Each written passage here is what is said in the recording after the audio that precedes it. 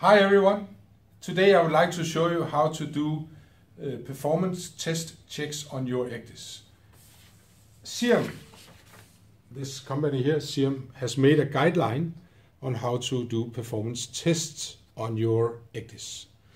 From this one, we at Furuno Maritime Training has uh, derived our own Furuno ECDIS performance test checklist. During the next couple of times, uh, videos, uh, I would uh, like to go through uh, some of the points on this uh, test checklist.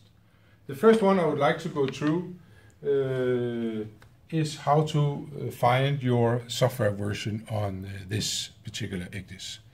And if you look up here, you have a question mark, and you press About, and then in the version, you can see your software version in the last four digits here.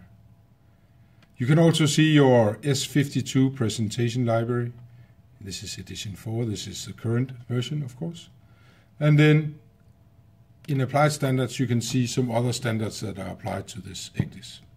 Another of the checks on this uh, uh test checklist is uh, to check your UTC time.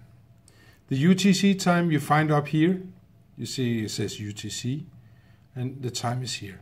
This time you have to compare with the GPS you have on board, and it should be exactly the same, since you receive the signal from the GPS. Well, uh, enough for this time. Uh, I'll be back next time with some more of the test checks. If you want to receive this test checklist that we have made, please uh, subscribe to our newsletter and then uh, by writing this email address. Okay, see you next time.